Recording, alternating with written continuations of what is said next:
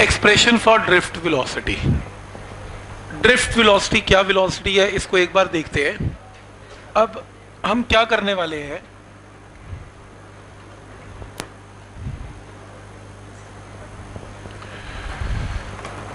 देखो, अब सपोज़ ये आपके पास एक कंडक्टर है। ये आपके पास एक कंडक्टर है, क्योंकि रैंडम मोशन में इलेक्ट्रॉन्स होते हैं। तो रेंडम मोशन में करंट तो कंट्रीब्यूट करते नहीं। तो हम क्या करेंगे? यहाँ पर लगाएँगे एक बैटरी बैटरी का प्लस माइनस तो ये प्लस तो ये प्लस ये माइनस तो ये माइनस तो इलेक्ट्रिक फ़ील्ड जनरेट हो जाएगा फ्रॉम प्लस से माइनस इलेक्ट्रिक फ़ील्ड जनरेट हो गया। ठीक है यहाँ तक तो इसके अंदर इलेक्ट्रिक फ़ील्ड जनरेट हो गया। इसके अंदर तो जो इलेक्ट्रॉन है इसके अंदर it will experience a force in the direction opposite to the electric field क्योंकि इलेक्ट्रिक फ़ील्ड के ऑपोजिट मूव करता है इलेक्ट्रॉन सबको मालूम है। और कितनी फोर्स से मूव करता है? फोर्स एक्सपीरियंस क्या होती है? मास इनटू एक्सेलरेशन तो sorry force experience is equal to Q times E का फॉर्मूला इलेक्ट्रोस्टैट्स में किया था। F is equal to Q E तो force experience will be equal to minus charge कितना है? E into electric field minus sign क्या show कर रहा है? माइनस साइन ये शो कर रहा है कि अगर इलेक्ट्रिक वेक्टर फॉर्म में लिखा है मैंने इलेक्ट्रिक फ़ील्ड अगर मेरी तरफ़ है तो फोर्स एक्सपीरियंस ऑपोजिट है। इलेक्ट्रिक फ़ील्ड अगर मेरी तरफ़ है तो फोर्स एक्सपीरियंस ऑपोजिट है। तो दोनों के डायरेक्शन में क्या फ़र्क है? माइनस का फ़र्क है। कोई डाउट इसमें? पॉइंट समझ में आ रहा है यहाँ तक? तो ये वैल्यू आ जाएगी आपके पास। तो अगर मैं ये पूछूँ कि एक्सेलरेशन कितनी एक्सपीरियंस कर रहा है तो एक्सेलरेशन का फॉर्मूला क्या होगा? फोर्स डिवाइडेड बाय मास तो acceleration vector is minus E E divided by mass ये पॉइंट क्लियर है यहाँ तक? तो एक्सलेशन वेक्टर आ गया। अब क्योंकि हर इलेक्ट्रॉन को इलेक्ट्रिक फ़ील्ड सबको सेम मिल रहा है मास ऑफ़ इलेक्ट्रॉन सेम है इलेक्ट्रॉन का चार्ज सब पे सेम है तो एक्सलेशन एक्सपीरियंस सभी इलेक्ट्रॉन की सेम है। ये भी क्लियर हो गया। तो एक्सेलरेशन सभी को सेम मिलेगी। इसका मतलब ये पक्की होगी कि इलेक्ट्रॉन एक्सेलरेट करेगा और डायरेक्शन सभी इलेक्ट्रॉन की सेम हो गई, अब वो रैंडम मोशन में नहीं रहेंगे। अब जब इलेक्ट्रॉन चलेगा, अब एक आध इलेक्ट्रॉन तो है नहीं। मेटल या कंडक्टर के अंदर 10 रेज टू पावर 28 इलेक्ट्रॉन्स होते हैं एक मीटर क्यूब में सिर्फ़। 10 की पावर 28 बहुत जीरोस होती हैं। इतने इलेक्ट्रॉन होते हैं, एक मीटर क्यूब में तो सोचो पूरे कंडक्टर में क्या होते होंगे? तो लाखों करोड़ हो गए तो इतने इलेक्ट्रॉन फ्री इलेक्ट्रॉन मूव करते हैं।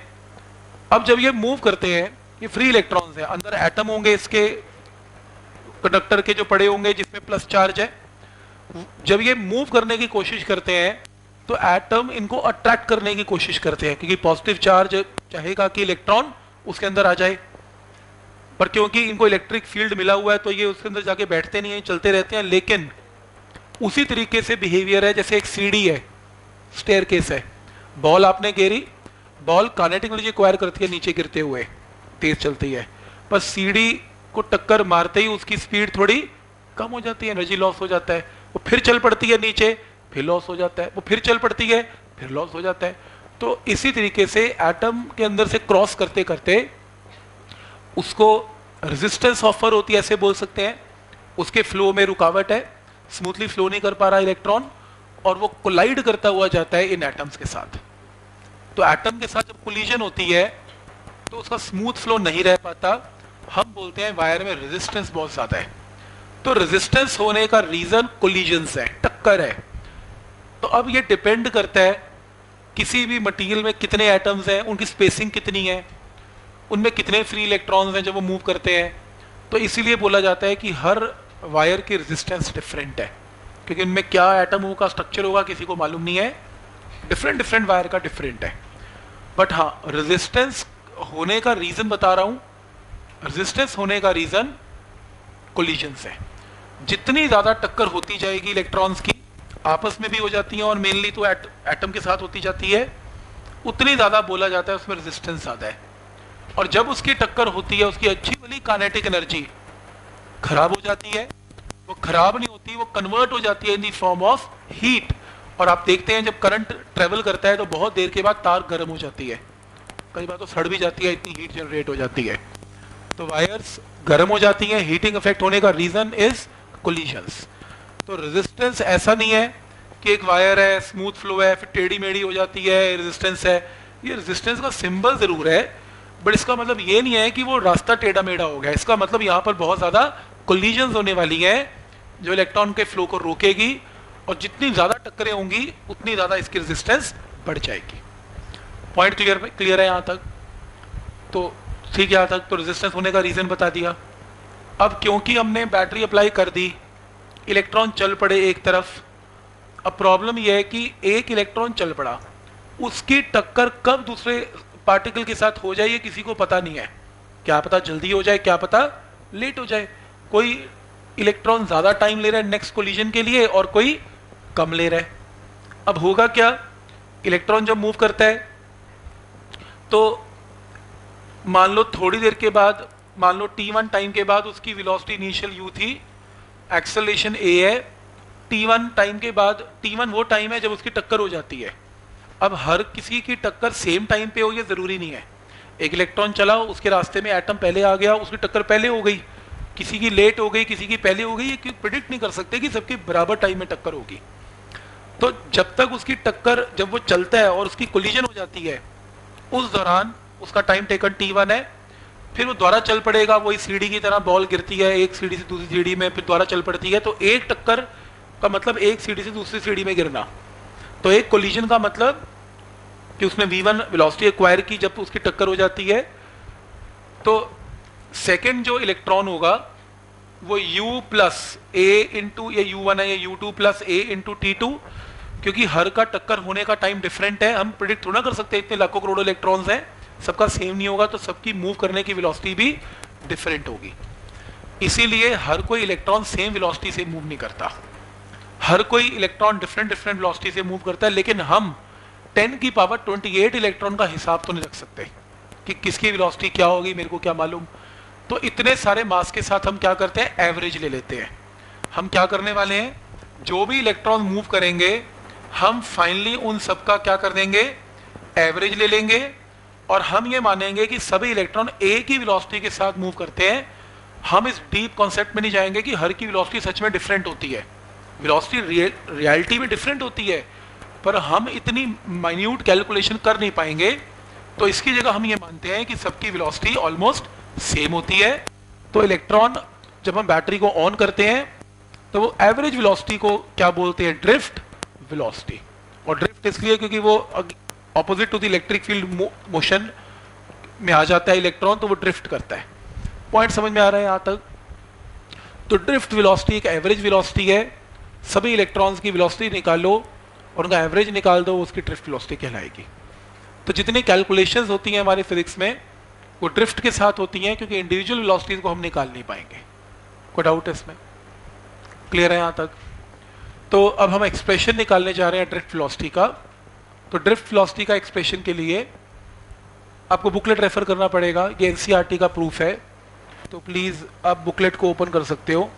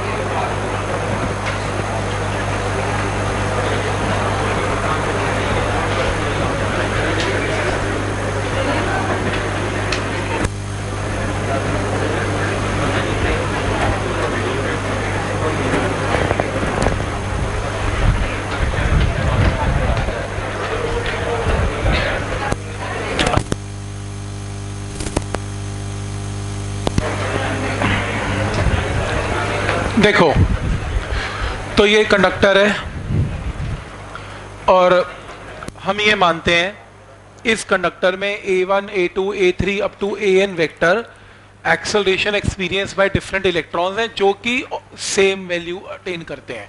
तो A1, A2 लिखा हुआ है लेकिन एंड में मैं लिखने वाला हूँ A1 vector is equal to A2 vector is equal to A3 vector is equal to AN vector is equal to A vector क्योंकि ए वैक्टर सभी इलेक्ट्रॉन के लिए सेम होगा हमने पहले डिस्कस किया।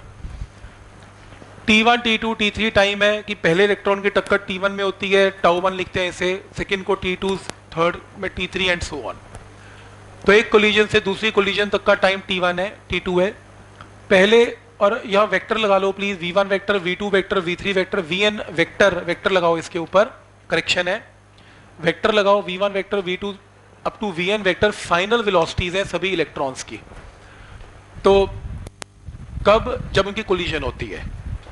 क्योंकि कोलिजन के बाद वो फिर अपनी जर्नी फिर स्टार्ट कर देते हैं। तो इसमें क्या होता है? फ़र्स्ट पार्टिकल के लिए फ़र्स्ट इलेक्ट्रॉन के लिए v1 vector is u plus AT second के लिए v is U plus AT आखिरी के लिए v is u plus AT और ड्रिफ्ट वेलोसिटी क्या होती है? इन सभी वेलोसिटीज का एवरेज तो v1 vector plus v2 vector plus v3 vector up to vn vector का एवरेज लेंगे डिवाइडेड बाय n तो ये क्या वेलोसिटी आएगी? ड्रिफ्ट वेलोसिटी जो कि इसके इक्वल आएगी। V1 वेक्टर की जगह पुट कर लेते हैं u प्लस एटी v2 की जगह u plus AT V N की जगह u प्लस एटी फिर काम करते हैं u1 u2 u3 upon N को एक तरफ़, बाकी a acceleration a1 a2 a3 तो बराबर ही है तो a a a a करके a कॉमन आ गया तो ये टर्म आ गई। इस पे प्लीज़ वेक्टर लगा लो u1 vector u2 vector u3 vector और a वेक्टर a के ऊपर भी वेक्टर और u1 u2 u3 के ऊपर भी वेक्टर वेक्टर लगा लो करेक्शन कर लो प्लीज़ ये सब वेक्टर में है। ठीक? बुकलेट साथ लेके आनी है आप क्योंकि अब आधा काम उसी से चलेगा। तो इसके अंदर हमने क्या डिस्कस किया कि शुरू में इलेक्ट्रॉन सब रेंडम मोशन में है। रेंडम मोशन का मतलब u1 vector u2 vector u3 vector का वेक्टर सम वेक्टर लगा लेना ज़ीरो आएगा। क्योंकि आधी वेलोसिटी पॉजिटिव है, आधी नेगेटिव है तो आपस में कैंसिल होके मानते हैं कि इनिशियली वो रेस्ट पे ही है। और एक्सेलेशन को a लिख लेते हैं और लिख लेना A one a1 vector a2 vector a3 vector equal to a vector ये वेक्टर कर लेना सारे। ये वेक्टर्स है। तो सभी एक्सलेशन वेक्टर की वैल्यू सेम है इसमें। और ये मैंने लिख दिया यहाँ भी करेक्शन कर लेना। U1 vector u2 vector u3 vector का सम वेक्टर लगा लेना। सम क्या है इसमें? ज़ीरो ठीक? तो इसके अंदर आप क्या कर सकते हो? ये जो टर्म है वो क्या है? U है। ये टर्म u है। और ये जो एक्सलेशन और ये टर्म है। तो इसके अंदर वी डी वेक्टर कर लेना, इसे ए वेक्टर कर लेना। V D vector is A vector plus sorry into अब देखो, हर इलेक्ट्रॉन के टाइम कौन कैलकुलेट करेगा टक्कर के कोलिजन के? तो एक कोलिजन T1 में हो रही है, दूसरी T2 में। ऐसे पता नहीं कितने होंगे। तो इसकी जगह भी एवरेज करो। इसकी जगह एक टाइम लो कितना टाउ ये टी तो V D vector is A vector into T T को बोलते हैं एवरेज रिलैक्सेशन टाइम रिलैक्सेशन इसलिए क्योंकि जब एक इलेक्ट्रॉन दूसरे को टक्कर मारता है पार्टिकल को तो उसकी स्पीड एकदम खत्म हो जाती है और फिर से अपनी जर्नी स्टार्ट करता है, उसको बोलते हैं रिलैक्स कर रहा है। फिर शुरू करेगा जर्नी। तो एवरेज टाइम, एवरेज कोलिजन का time, average relaxation time, one and the same thing. और एक्सेलेशन वेक्टर मैंने बोर्ड पर लिख के दिखाया था अभी, मिटा दिया, minus Q E by M, minus E E vector by M. तो ये एक्सप्रेशन बॉक्स में डाल लो इंपॉर्टेंट है, आपके स्कूल के अंदर और बोर्ड्स के अंदर हमेशा आता है। Derive an expression for drift velocity तो ड्रिफ्ट वेलोसिटी का एक्सप्रेशन आप ये प्रूव करके आएँगे जब आपके स्कूल्स में आएगा। क्लियर है यहाँ तक?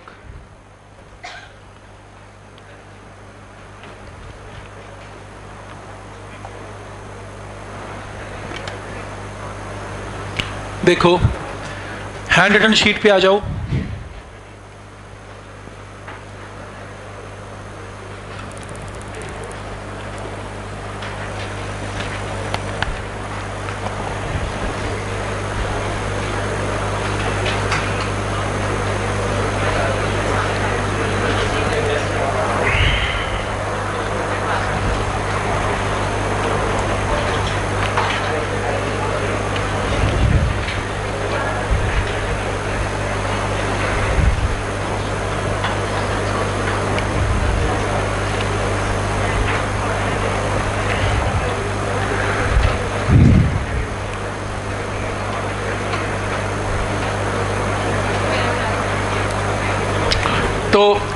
एंड शीट में आप चेक कर सकते हो। ये आपके पास वेलोसिटी ऑफ़ ड्रिफ्ट हमने ये प्रूव कर लिया। ये एक्सप्रेशन में ई e का मतलब इलेक्ट्रिक फ़ील्ड अप्लाई मास का मतलब मास ऑफ़ इलेक्ट्रॉन और टाउ का मतलब एवरेज रिलैक्सेशन टाइम तो जब आप तैयारी करोगे न्यूमेरिकल या ऑब्जेक्टिव की तो फॉर्मूला यहाँ से देख लेना। मैं लिख के लाऊँगा फॉर्मूलाज और प्रूफ एनसीईआरटी का बुकलेट में से कर लेना। तो कंपटीशन के टाइम आपको फॉर्मूलाज चाहिए होंगे। प्रूफ तो क्या ही करेंगे? प्रूफ के लिए रेफर बुकलेट चलेगी। नोट है मेटल के अंदर. 10 is to power 28 metre cube of free electrons होते हैं approximately at room temperature free electron move at about 10 की पावर 5 मीटर पर सेकेंड की स्पीड से मूव करते हैं रेंडमली एवरेज रिलैक्सेशन टाइम 10 की पावर माइनस फोर्टीन सेकेंड है. सोचो कितना एक इलेक्ट्रॉन की टक्कर पार्टिकल से कितनी जल्दी हो जाती है. पॉइंट ज़ीरो देखो आ रहे हैं. फ्रैक्शन भी क्या बोलूँगा? पता नहीं कितनी तो टक्कर खाता रहता है, मुझे लगता है, देखो। ये तो इतना छोटा टाइम है। तो एक सेकेंड में कितने टाइम हो जाएँगी? तभी तो वायर गर्म हो जाती है। और random motion of electron do not contribute in electric current and average relaxation time is constant for a given material at constant temperature मतलब अगर आप एक मेटल लेके आते हो कॉपर या एल्यूमिनियम या कुछ भी तो उसका एवरेज रिलैक्सेशन टाइम टक्कर होने का टाइम कांस्टेंट रहेगा for a given material copper के लिए कांस्टेंट है, पर एल्यूमिनियम के लिए चेंज हो सकता है, क्योंकि उसके एटम का स्ट्रक्चर डिफरेंट है और कॉपर का डिफरेंट है. बट ये भी याद रखना, लिख लेना इसके बाद एक पॉइंट एज टेम्परेचर इंक्रीजेज जब भी किसी भी मेटल का टेम्परेचर इंक्रीज होगा, उनकी टक्कर जल्दी होगी कि लेट होगी? जल्दी हो जाएगी, ज़्यादा टक्कर होंगी क्योंकि वेलोसिटी एक्वायर कर लेंगे, तेज तेज भागेंगे। तो यानी कि नंबर ऑफ़ कोलिजन्स इंक्रीजेस टक्कर जल्दी होगी का मतलब टाइम क्या होगा? डिक्रीज टाइम डिक्रीज हो जाएगा एवरेज रिलैक्सेशन टाइम डिक्रीज तो ये फैक्ट है टेम्परेचर बढ़ने से एवरेज रिलैक्सेशन टाइम क्या हो जाता है? डिक्रीज हो जाता है। वैसे कांस्टेंट रहता है फॉर अ गिवन टेम्परेचर लिख लेना आखिरी पॉइंट इसके नीचे।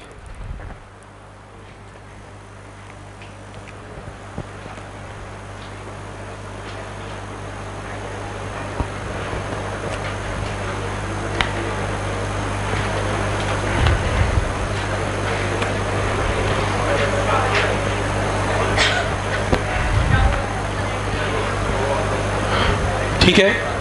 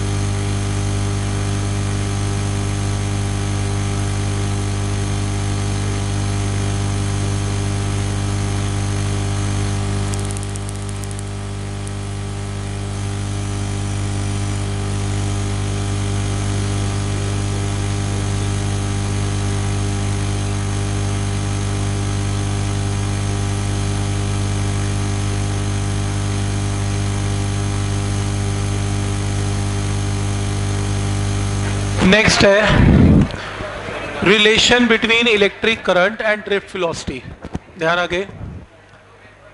अब रिलेशन है इलेक्ट्रिक करंट का और ड्रिफ्ट वेलोसिटी का, फिर से बुकलेट पे चलते हैं। और एवरेज रिलैक्सेशन टाइम की डेफिनेशन लिखी हुई है। Shortest time for which free electron accelerates उसके बाद टक्कर हो जानी है उसकी तो कम से कम टाइम जिसके लिए वो एक्सलरेट करेगा before it undergoes a collision with electron with a conductor is called average relaxation time clear है यहाँ तक? तो डेफिनेशन सही लिखी हुई है कि जब उसकी कोलिजन हो जाएगी, उसे पहले पहले का टाइम क्या है? एवरेज रिलैक्सेशन टाइम और ऐसी definition of drift velocity booklet में this is slow and steady velocity of all free electron of a conductor average velocity है in a direction O double P करो ऑपोजिट गलती से O double F हो गया। Opposite to the applied electric field O double P drift velocity में correction करो यहाँ पर ऑपोजिट करो।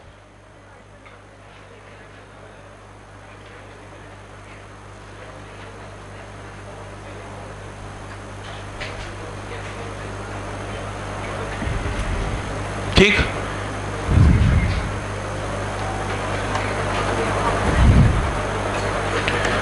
तो रिलेशन निकालते हैं इलेक्ट्रिक करंट और ड्रिफ्ट फिलोसिटी का। रिलेशन निकालने के लिए, देखो क्या करेंगे। डायग्राम इसका वही रहेगा कि सपोज़ ये कंडक्टर है सपोज़ ये बैटरी है बैटरी का नेगेटिव नेगेटिव पॉजिटिव पॉजिटिव है।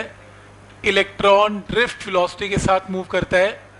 इलेक्ट्रिक फ़ील्ड टूवर्ड्स राइट है और सपोज़ ये जो लेंथ है length of the conductor L है. Length of the conductor is L ठीक? अब एक चीज़ का आंसर दो, और इसके अंदर ये भी नोट कर लो, ये जो एरिया है, ये वाला, ये जो area this area is A area is A तो देखो, इस कंडक्टर का वॉल्यूम कितना है बोलो?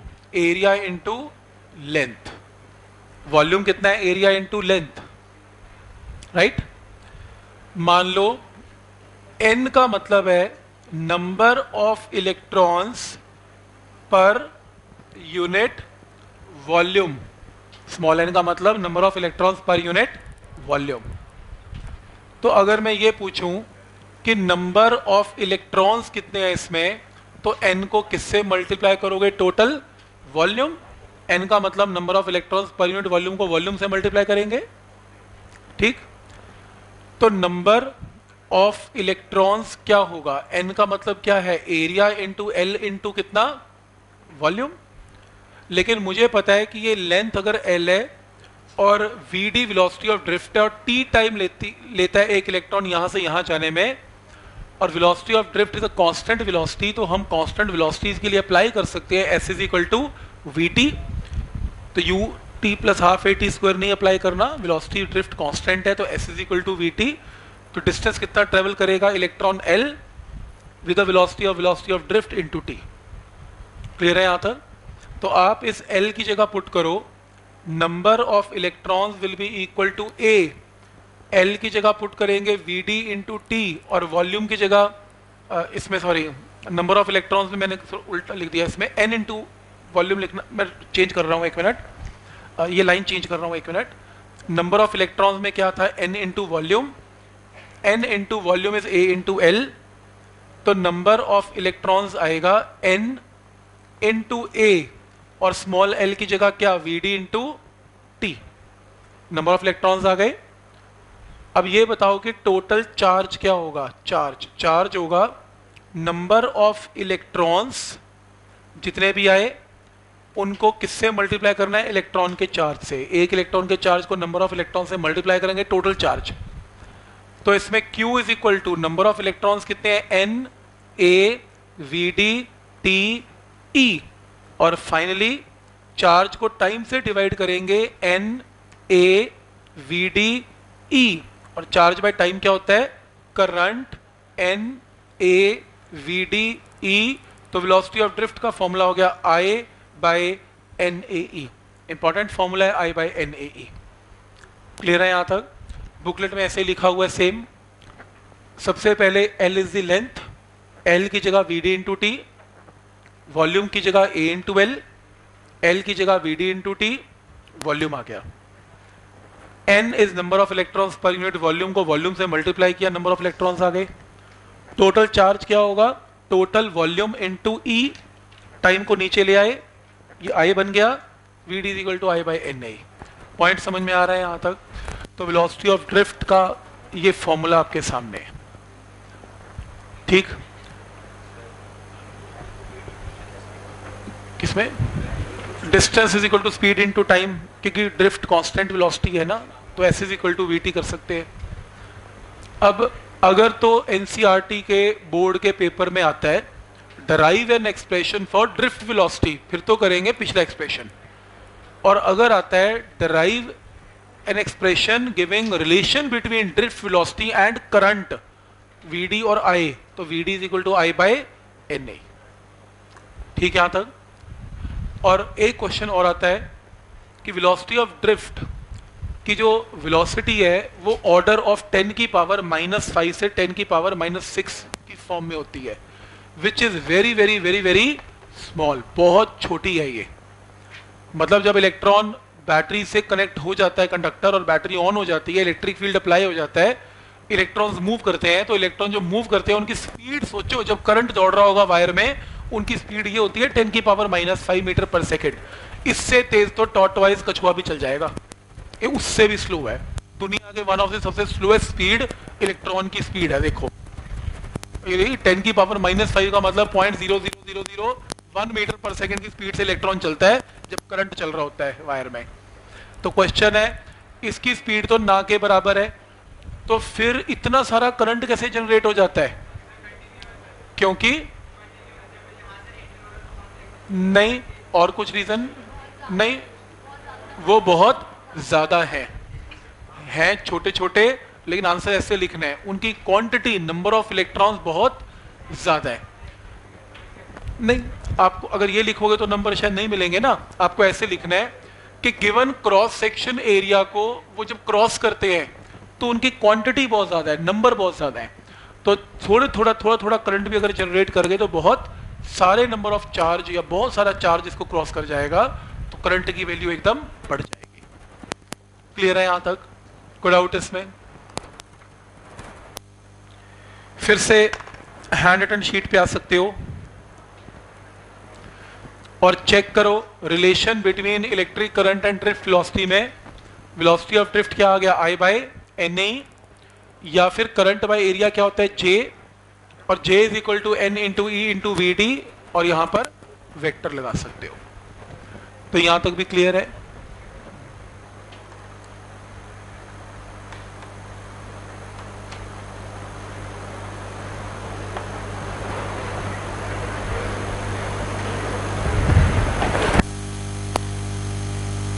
Next is Ohm's law Ohm's law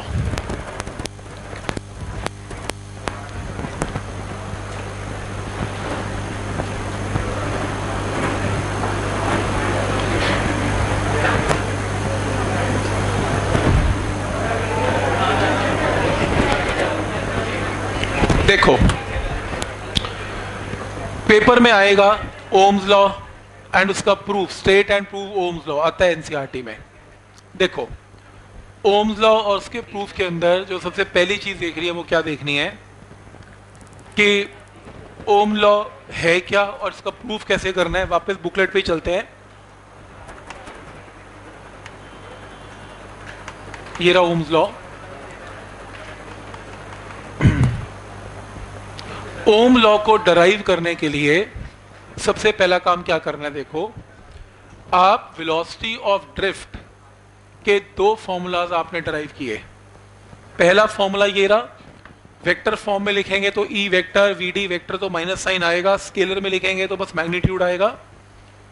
तो हमने वेलोसिटी ऑफ़ ड्रिफ्ट को पहले डेरिवेशन में ऐसे ड्राइव किया था। और वेलोसिटी ऑफ़ ड्रिफ्ट को हमने ऐसे भी डिफाइन किया आई बाई एन ए फिर एन का मतलब number of electron per unit volume दोनों फॉर्मूले लिख लिए, दोनों को इक्वेट कर लो। क्योंकि दोनों के दोनों क्या दे रहे हैं? वेलोसिटी ऑफ़ ड्रिफ्ट तो इसको इसके इक्वल इक्वेट कर लो तो ये टर्म आ जाएगी। इलेक्ट्रिक फ़ील्ड क्या होता है? इलेक्ट्रिक फ़ील्ड जो वायर के क्रॉस पोटेंशियल डिफरेंस है और डिवाइडेड बाय वायर के क्रॉस जो पोटेंशियल डिफरेंस है एल लेंथ में है। तो ई e की जगह क्या आएगा? V by L L length of the conductor क्योंकि ये कंडक्टर है, ये कंडक्टर है, इसमें इलेक्ट्रिक फ़ील्ड क्या है? ई e और पोटेंशियल डिफरेंस कितना है? वी और लेंथ कितनी है? एल तो E is equal to V by L E D V by D R भी तो करते हो। ठीक है यहाँ तक? तो आप एक काम करो, इस ई e की जगह रिप्लेस करो कितना?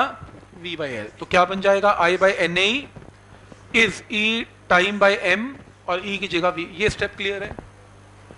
इस स्टेप के बाद, ये जो स्टेप मैं यहाँ लिख रहा हूँ ये step is I by N A E is equal to E into time divided by mass into V divided by L यही है। कोई डाउट इसमें? ठीक। इसके अंदर आपने क्या करना है? एक स्टेप और एक्स्ट्रा कर लो। इसको एरो लगाओ। एरो एरो का मतलब नेक्स्ट स्टेप इसके बाद एक स्टेप मिस हो गया। मिस तो क्या मतलब? शॉर्टकट मार दिया मैंने इसमें।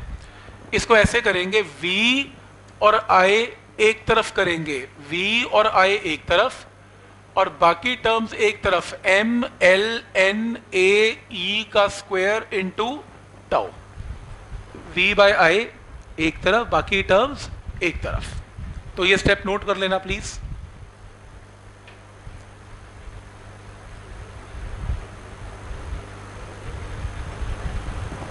ठीक है?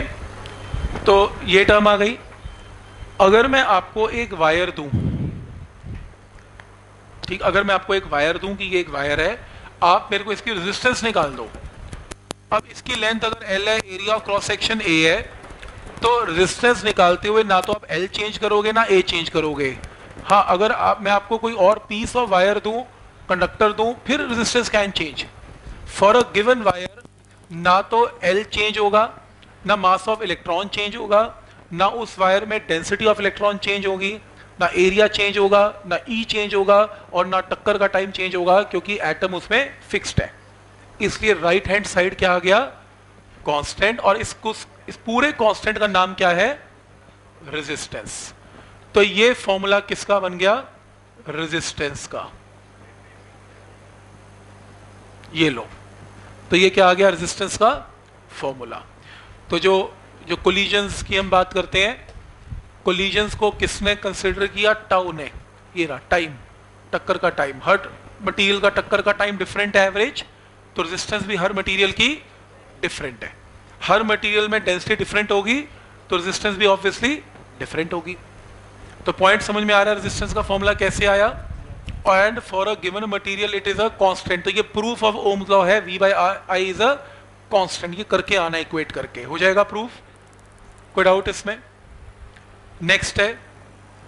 अब इसके अंदर एक चीज़ और बताओ कि resistance is equal to L और एरिया को छोड़ दो। M N E square time की जगह रो पुट कर दो। रो वेयर रो को मैंने क्या पुट किया? M N E square tau क्योंकि जब न्यूमेरिकल्स आएँगे तो हम इतना माइन्यूटली हम करेंगे नहीं कि टाउ गिवन होगा एन गिवन होगा कौन करेगा इसका न्यूमेरिकल बहुत छो, छोटे लेवल पे कैलकुलेशन हो जाएगी। तो इसकी जगह आज के बाद आपको बुक्स में किसी भी न्यूमेरिकल में रो गिवन होगा एन की बजाय रो दे देते हैं और आप रेजिस्टेंस सीधी निकाल देते हो by formula R is rho L by A और हर मटेरियल की रो की वैल्यू क्या रहेगी? डिफरेंट आपको न्यूमेरिकल में गिवन होती है इस रो को क्या बोलते हैं? रेजिस्टिविटी रेजिस्टिविटी या स्पेसिफिक रेजिस्टेंस एक ही बात है। तो पॉइंट समझ में आ रहा है यहाँ तक? तो ओम लॉ प्रूव हो जाएगा। क्लियर है? तो ओम लॉ को प्रूव करके यहाँ तक आपको निकाल के आना है। राइट हैंड रिटन शीट पे आ सकते हो वापस से।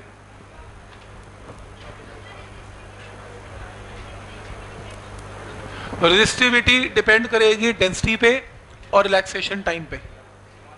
क्योंकि किसी भी कंडक्टर का टाउ चेंज हो जाएगा और एन भी चेंज हो सकता है। हाँ करती है, बताऊँगा अभी। हाँ करती है करती है। यहाँ तक क्लियर है? अभी बताता हूँ उसके बारे में। बताता हूँ। तो सबसे पहले प्रूफ ऑफ़ ओम्स लॉ के लिए प्रूफ ऑफ़ ओम्स लॉ के लिए बुकलेट देख ली हमने, और ओम लॉ हम प्रूव कर सकते हैं। ओम लॉ को डिफाइन करने को आएगा। वो तो आप कर ही लोगे। क्या लिखोगे? अगर लिखोगे ना V equal to I R कोई चेक भी चेक भी नहीं करेगा। ऐसे लिख के आना अंडरलाइन करो। इट स्टेट्स दैट ये पहली लाइन ज़रूर लिखनी है keeping all the physical condition of the conductor constant क्यों? क्योंकि ओम लॉ कहता है, किसी भी कंडक्टर का आर कांस्टेंट है। और आर तभी कांस्टेंट आएगा जब उसकी लेंथ कांस्टेंट होगी और एरिया भी आप चेंज नहीं करेंगे।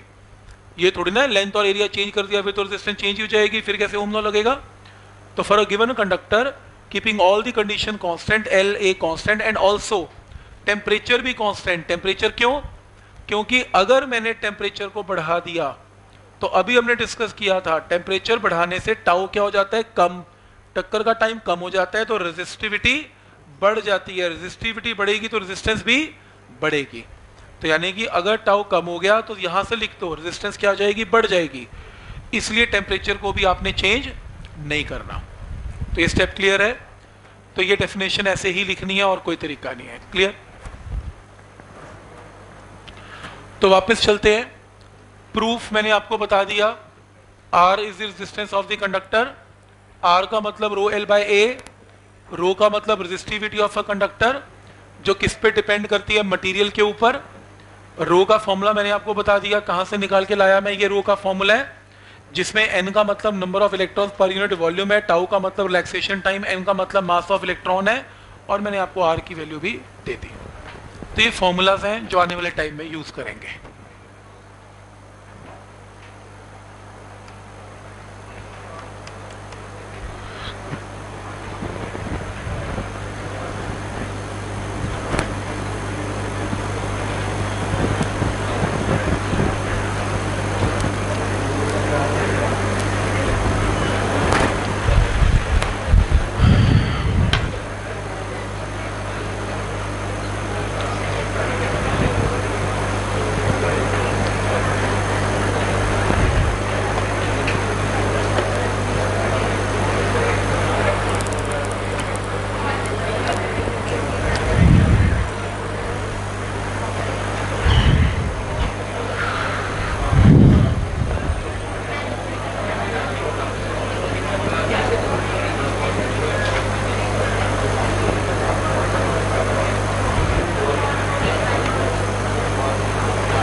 देखो नेक्स्ट है बुकलेट के अंदर आ जाओ failure of Ohm's law resistance के यूनिट ओम होते हैं, सबको मालूम है. फेलियर ऑफ़ ओम लॉ के अंदर, मुझे ये मालूम है कि ओम लॉ में रेजिस्टेंस कांस्टेंट है तो V is equal to I into R में R इज़ अ कांस्टेंट तो I can say V is proportional to I. इसीलिए I और V का कर्व यहाँ से स्टार्ट होता हुआ लीनियर जाता है, इसको ठीक कर लो प्लीज़ फ़र्स्ट डायग्राम को ओरिजिन से शुरू करो. ओरिजिन से बनाना। ठीक है यहाँ तक? आपको इसमें यह बताना है ओम लॉ कहाँ कहाँ फेल होगा? या ओम लॉ कहाँ कहाँ नहीं लगता? ऐसे बोलो। तो पहला रीजन पहला रीजन लिखना है आपने कि जब एक वायर का टेम्परेचर इंक्रीज हो जाता है, ध्यान आगे, जब एक वायर का टेम्परेचर इंक्रीज हो जाता है क्योंकि टेम्परेचर इंक्रीज होने से उसकी रेजिस्टेंस इंक्रीज हो जाती है। रेजिस्टेंस इंक्रीज होने से करंट का एक्सेस तो वैसे ही बढ़ रहा है। वोल्टेज जो है वो एकदम ज़्यादा बढ़ जाती है प्रपोर्शन में नहीं बढ़ती। अगर आर कांस्टेंट है, फिर तो सही है। आई अगर जितना बढ़ेगा वी भी बढ़ेगा। पर अगर आर भी बढ़ना स्टार्ट हो गया साथ के साथ तो फिर वी कुछ ज़्यादा ही बढ़ जाएगा। शुरू शुरू में तो वायर ज़्यादा गर्म नहीं होती तो स्ट्रेट चलता है। लेकिन जैसे टेम्परेचर इंक्रीज होता है ये ग्राफ यहाँ जाने की वजह कुछ ज़्यादा ही बढ़ जाता है, क्योंकि इसमें रेजिस्टेंस कांस्टेंट रहेगी नहीं, थोड़ी देर बाद। This is because of heating effect of current